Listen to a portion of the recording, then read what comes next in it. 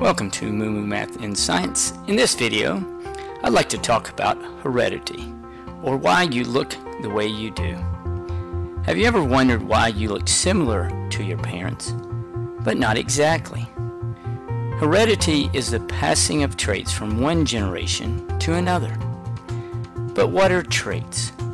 Traits are characteristics that can be passed from one generation to another.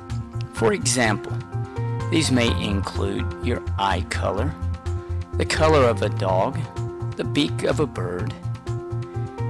In the 1800s, while growing pea plants, Gregor Mendel noticed that some traits, like the height of the plant, may change from one generation to the next.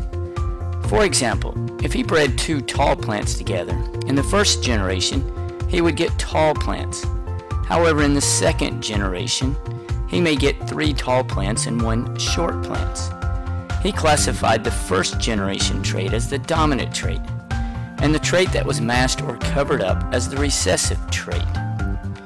The reason that you get dominant and recessive traits is that you get one copy of the trait from your mother and another from your father. Most human cells are considered diploid because they contain a set of chromosomes. This helps explain why you look similar to your mom and dad, but not exactly. Since Mendel's time, there has been a whole field of science that studies heredity called genetics. And lately, the field of genetics has been very busy. They have mapped the human genome, or the DNA, they have cloned animals, and they have helped to find cures to genetic diseases. I hope this helps with your understanding of heredity, and thanks for watching. Moo Moo Math uploads a new math or science video every day. Please subscribe and share.